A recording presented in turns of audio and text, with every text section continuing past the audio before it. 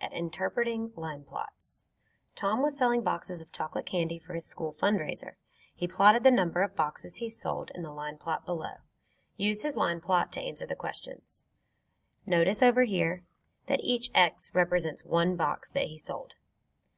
How many boxes did he sell on day 8? So we take a look at the 8 and you count the X's.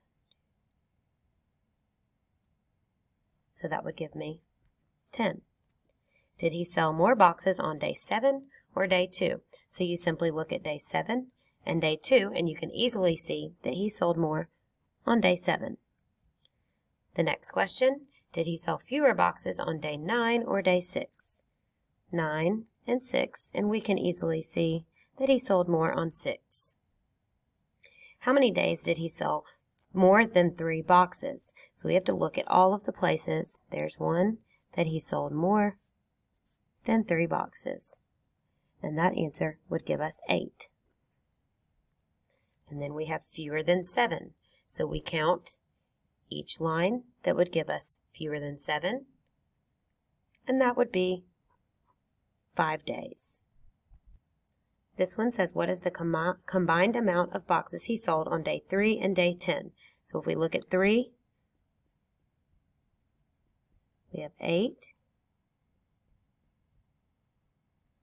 So we add those two numbers together. One question that I see a lot of people miss is how many total days or how many total boxes did he sell. For that, you would count up all of the X's that we have here, add up all of the numbers, and you would count each X here, and that would give you the total. So just remember, anytime you're looking at a line plot, each X represents one number in the data.